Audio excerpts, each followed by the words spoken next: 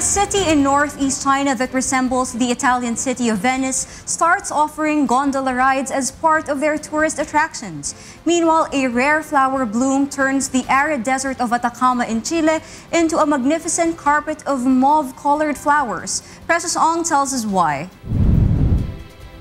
Chile's Atacama Desert has turned into a mauve-colored carpet of flowers following a downpour of rain from the country's north that has seen the normally arid region turn into a psychedelic wonderland of shades of purple. This phenomenon takes place every 5 to 7 years, but this is the most spectacular blossoming the region has seen in the past 18 years.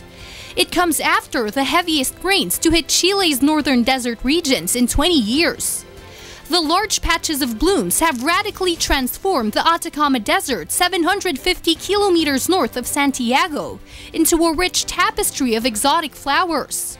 The very intense rains in the normally arid north of the country helped the area to flourish with more than 200 native species, filling the desert with unusual scents and colors local media reported.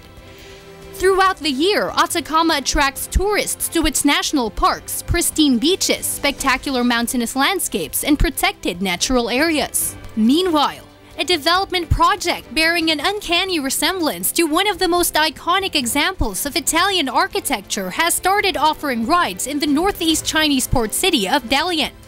The development project, named East Montage, covers over 403,600 square meters, is not an exact building by building replica of Venice.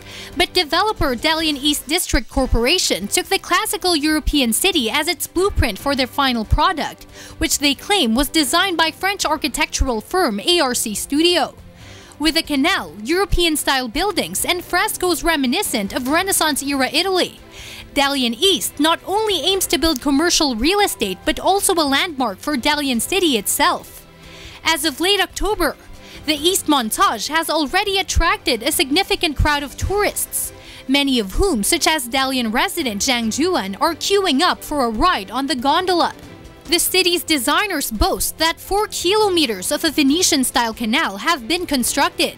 At present, however, only a small portion of the canal remains open to gondola rides for tourists as of October 17, 2015. Development projects such as East Montage are not uncommon across China. In 2007, Shanghai built its own mini Paris, complete with a small-scale Eiffel Tower, and a detailed building-by-building replica of an Austrian village was finished in southern Guangdong province in 2012.